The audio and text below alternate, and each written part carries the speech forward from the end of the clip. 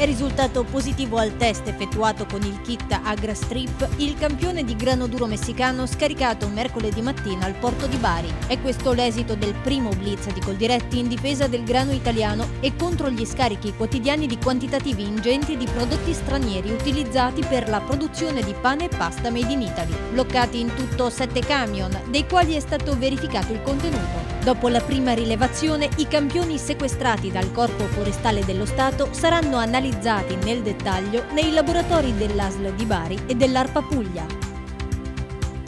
È dura la posizione di Coldiretti, promotrice dell'iniziativa di controllo dei grani sbarcati nei porti italiani. Se il grano è contaminato da aflatossine che sono altamente tossiche e sono annoverate tra le sostanze più cancerogene esistenti, recita la nota, risulteranno contaminati anche pane e pasta che ne potrebbero derivare, poiché le aflatossine sono resistenti alle alte temperature. Senza insistere sui facili allarmismi, Coldiretti continuerà a mobilitarsi per chiedere controlli sempre più severi sui prodotti importati e l'obbligo di indicare in etichetta la provenienza delle materie prime.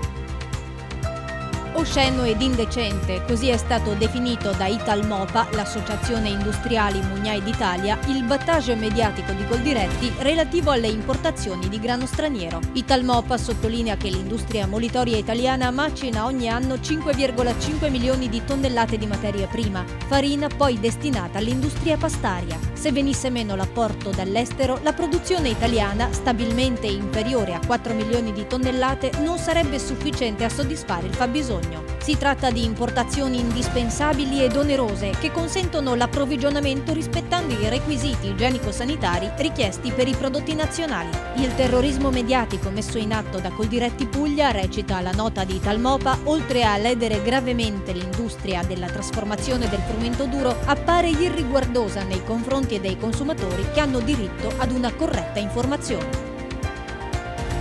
Un imprenditore di Aprilia è accusato di aver spacciato per olio extravergine un mix di oli frutto della miscelazione tra olio d'oliva e olio per lampade. Le indagini sono iniziate nel 2013, concentrate su una partita d'olio sbarcata a Livorno. Le analisi di laboratorio hanno permesso di evidenziare la presenza di olio lampante di oliva di provenienza iberica, non commestibile, mischiato ad un generico olio d'oliva.